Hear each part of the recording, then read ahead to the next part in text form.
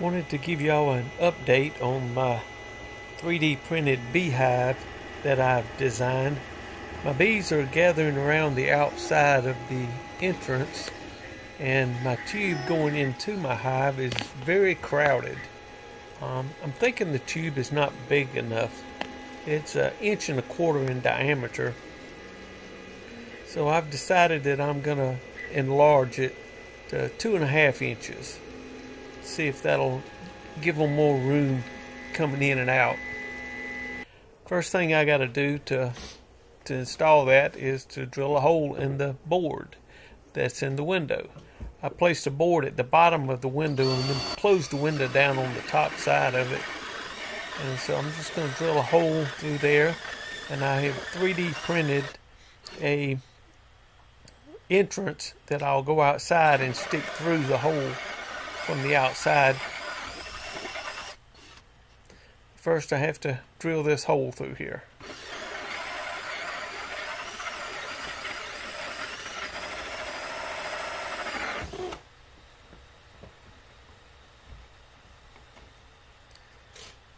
So I'm going to put this tape over it to make sure that no bees come inside the hole while I'm trying to get it connected.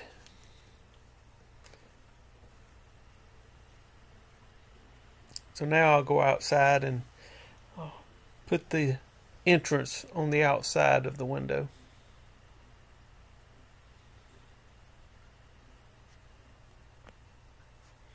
You can see how the bees are all piled up on the existing entrance.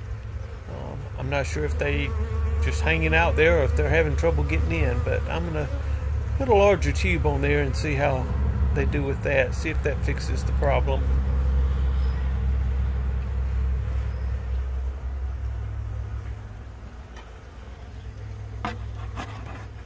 This is the entrance that I 3D printed. I'll stick it through the, the hole I just drilled had a little problem 3D printing this. It didn't stick to my bed good and it came loose and it made a gap in it and I filled it in with my 3D pen and it doesn't look very smooth, but it'll work.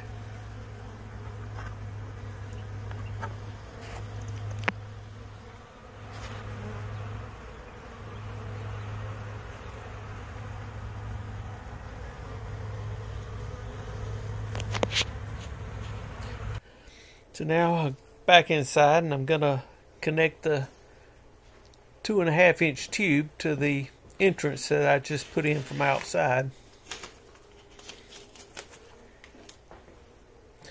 I have to test fit it before I take the tape off to make sure it's going to connect the way I want it to.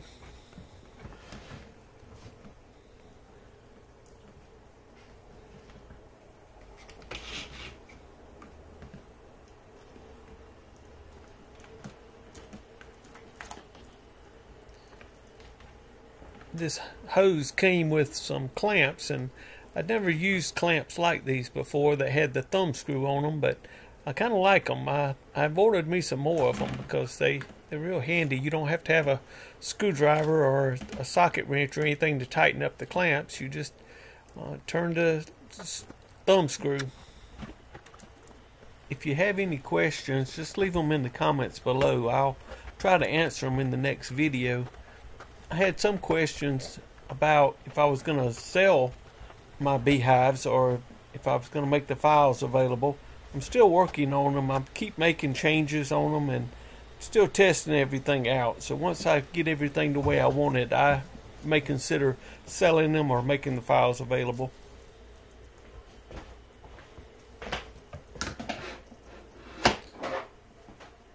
So now I just need to get a measurement on the length of it so I can cut it off. I'm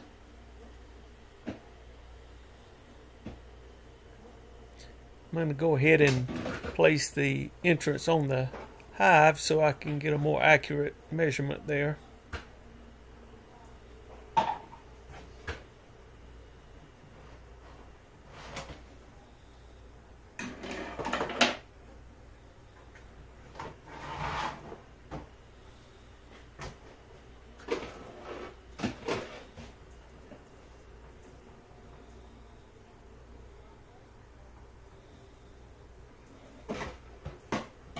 And I'm just going to cut the plastic with a pair of scissors. There is a wire that is coiled around the outside of the tubing and I'll cut around to that wire and then I'll get a pair of wire cutters and snip the wire into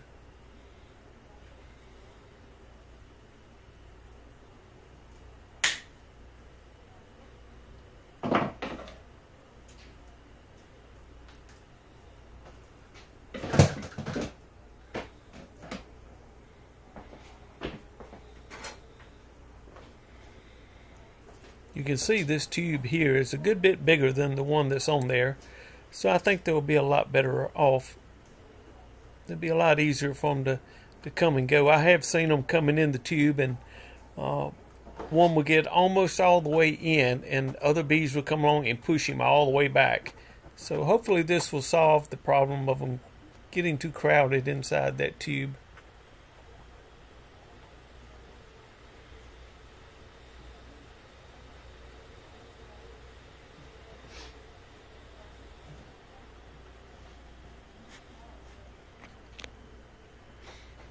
Now I'm just going to open it up and, and let the bees go down in the tube.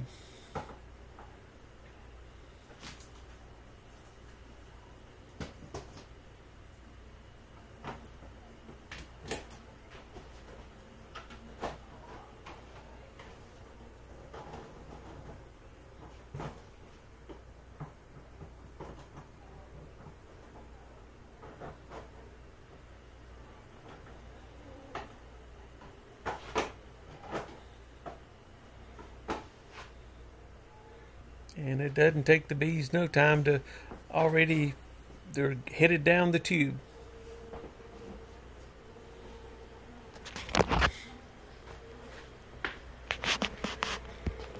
I was really surprised at how fast they did make their way into the tube but it, it was almost immediately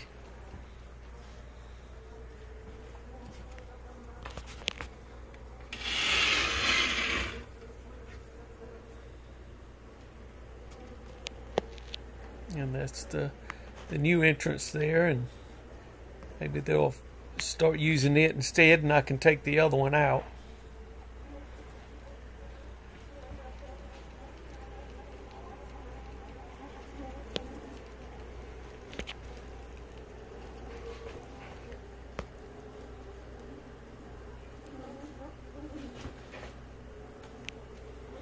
And these are my goats uh, looking out the window above my the entrance of my beehive there.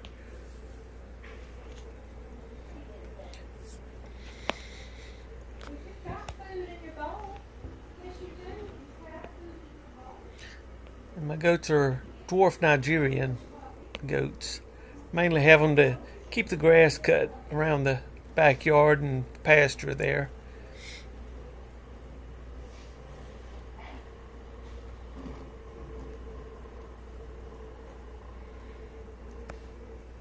And the goats do a good job of keeping the grass cut around the pond too. I have about a three acre pond right there. And here are my bees. They have really done a lot of drawing out of comb. This the first section that I installed here. Um, it's on its second generation of of comb right here because they have the queen laid the eggs in this section here and they capped them off and they hatched out and now she laid more eggs in there and they have capped that off and so it won't be long they'll be hatching out again.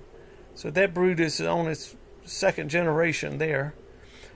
This hive here is the second section that I added and they have it almost full of drawed out comb got a little bit more down towards the bottom on the left side that they haven't filled up yet, but they're steady working at it. And then this is the third section that I've added, and they've started at the bottom and they're working their way up uh, on it. So they're they're really doing very good, I think.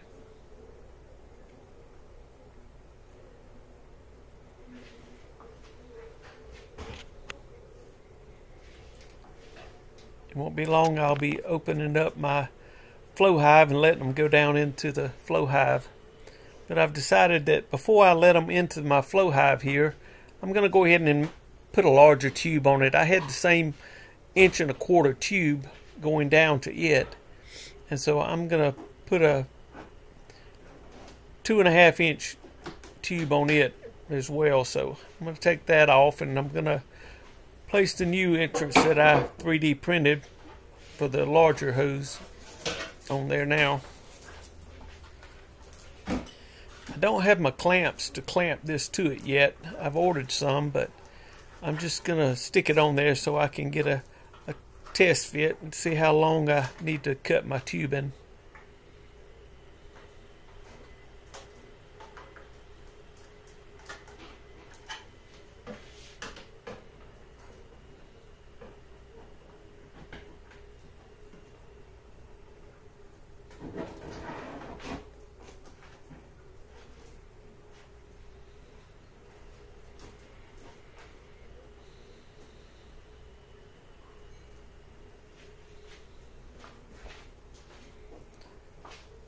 This is a little elbow I 3D printed. I'm going to drill a hole in the back of it and put the elbow in the hole and then attach the tube to the elbow.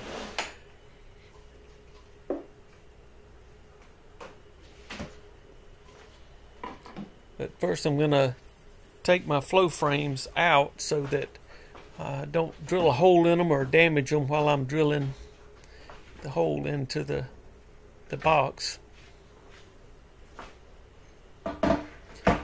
I 3D printed a little plug and stuck in the hole in the side down there in the, the bottom right corner. You can see a little circle plug there that I stuck in there to fill up the hole from the previous tube that I had in there. I'm not going to take all the frames out. I think three will be enough to make room for my drilling.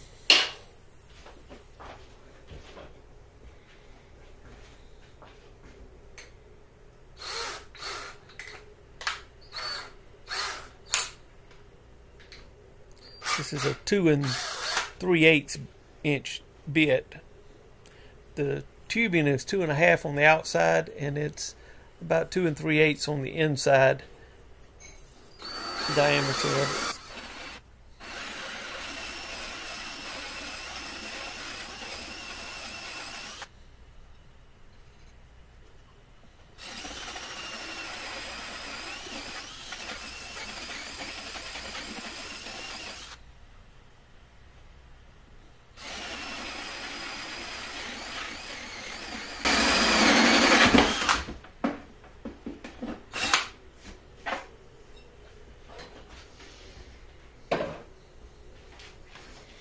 And I'll just put my elbow in it and attach the tube to the elbow.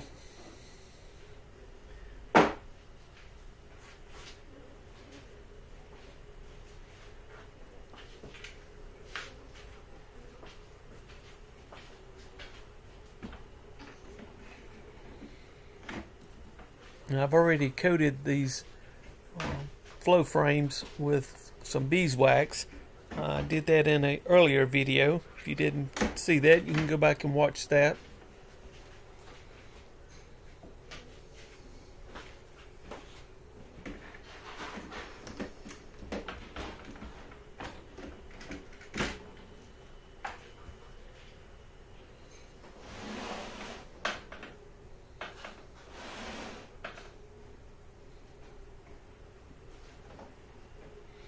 So now I'm trying to get a a measurement for the how long I need this tube to be.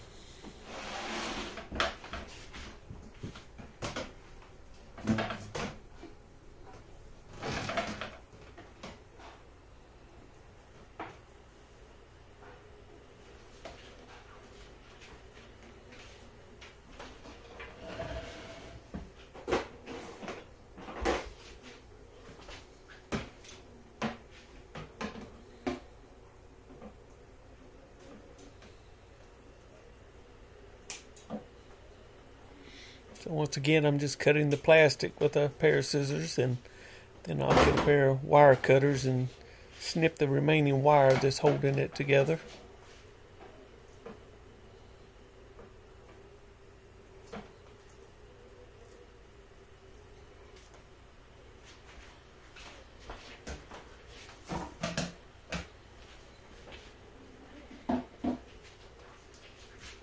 and I think that'll fit nicely once I get my clamps and secure it.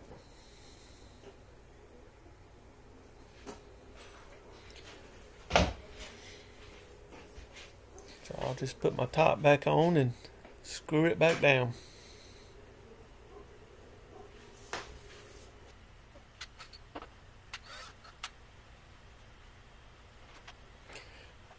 I hope you've enjoyed watching my video. Uh, I have a lot of other videos. If you look in the description below, you'll find some of my other videos that I've posted earlier. And uh, if you have enjoyed my video, I, uh, check back with me next week and I'll post another video next week showing how my bees are doing. Thanks for watching.